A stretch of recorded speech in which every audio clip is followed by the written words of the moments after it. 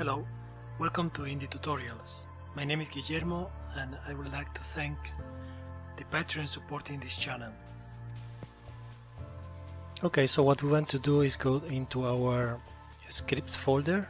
Uh, let's say in the utils section here I will add a new script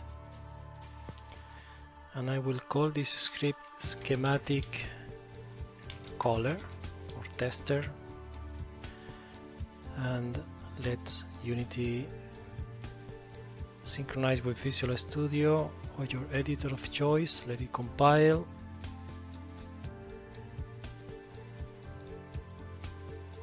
Anytime now. Thank you. So now we can open up the script itself. And uh, in the description of the video there is a link for the paste bin script. So what you want to do is just select everything and replace it with the paste bin uh, code.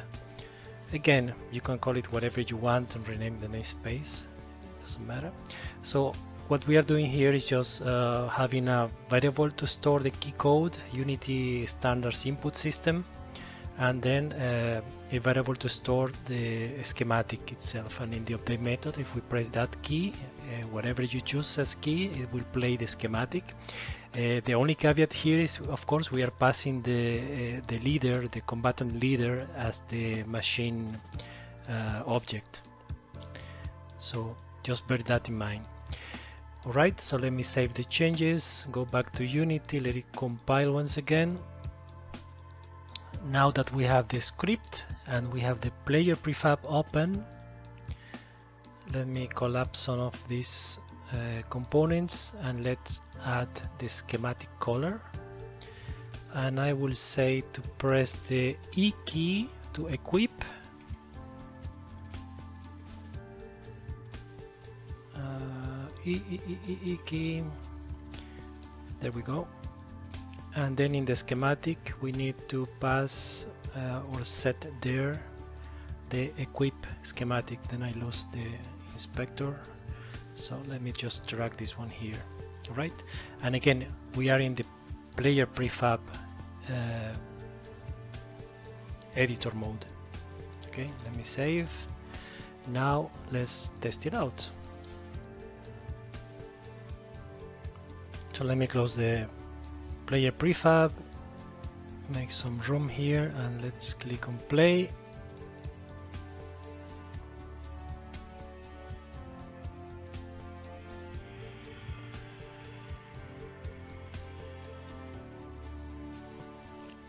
So now I want to select the game object itself and press F to focus. In the preview or the sim uh, view here like so.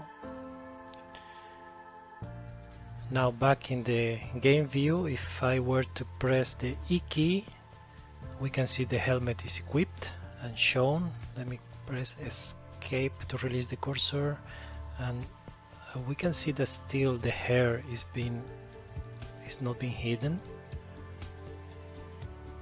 Here 01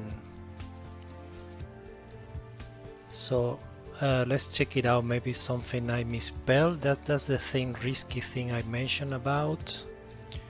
So let me see that. And also uh, now that we can see that the equipment actually is working let me stop play mode. And what we can do is in the prefab itself let's uh, also show the the bird objects. Something like that. Save the prefab.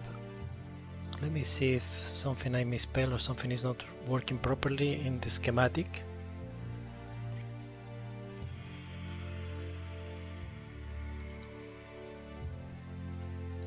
Okay. Press E key and yes the hair game objects are not being hidden. So let's review the schematic. Something is not working there not uh, not right. But at least the the first the equipment uh, of the helmet is it does. Anyways let's stop play mode and go to the schematic. So I uh, let me check. Let's open up the schematic I know what is this issue. So we had when we start creating the list of game objects right? The first one is the bird 101 but as you can see when we copy the nodes we left or I left the change type to set. So what it's basically doing is overriding the list all the way down.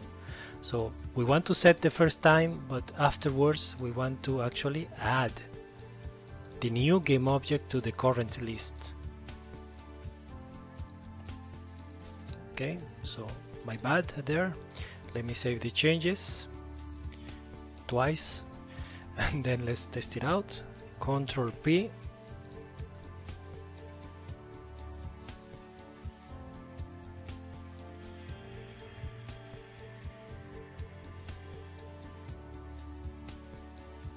okay so let's press the E key down below of course. And now we are hitting let me release the cursor. Now the hair and the bird is hidden properly. So let's do the opposite now to unequip these helmets Ctrl P. And it's easy just um, let me duplicate this schematic and rename it to unequip unequip helmet A. Let's double click it to open up in the Makinom editor. And from here what we want to do is the opposite. So we, we can leave the set uh, or the creation of the list again. But instead of activate the helmet then we want to unactivate it or, or hide it. And then for the hair list whenever we have uh, as a custom character creator then we want to set to active right? So let me save this schematic. We need to assign it this unequip again to the inventory equipment helmet level settings unequip schematic so let's uh, assign this one here. Save once again. And we can quickly test it out by adding the same script schematic caller to the player prefab.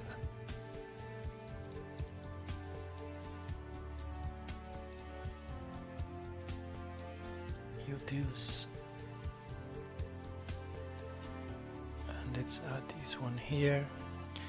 And for the sake of simplicity let's use here the key U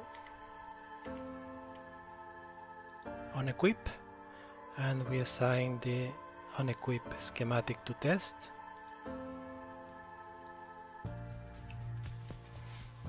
And let's hit on play.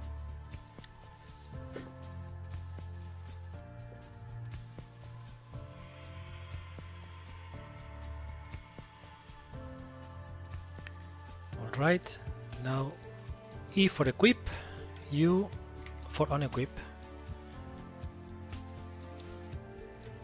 E U E U. Okay so uh, on the next video of course this is this is for testing purposes. Uh, ideally what we want to we are going to build now is the UI menu interface so we can pick up this helmet from the UI and equip it and unequip it from the uh, in-game menu. Uh, okay and of course uh, we are going to do that in the next video because that's another tedious long process to build the UI so bear with me in that. And uh, I want to thank you all for supporting and watching the videos. See you on the next one